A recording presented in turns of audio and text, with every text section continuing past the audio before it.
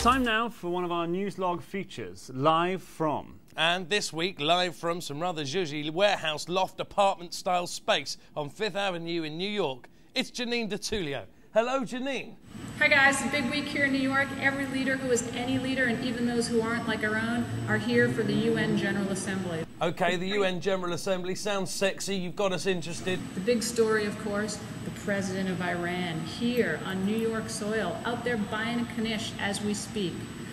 The head of Columbia uh, defended asking the president of Iran to speak by saying that if Hitler were here today, he would invite him to speak too I just find it weird that you know he chose a mythical figure like Hitler. I'm sure. I'm sure if the Tooth Fairy and Santa and Aphrodite were here, they'd speak as well. Your land is the land of the freedom of speech. You should know you're not allowed to say shit like that. Anyway, uh, Iran taking away a little of Iraq's ink in uh, the United States this week.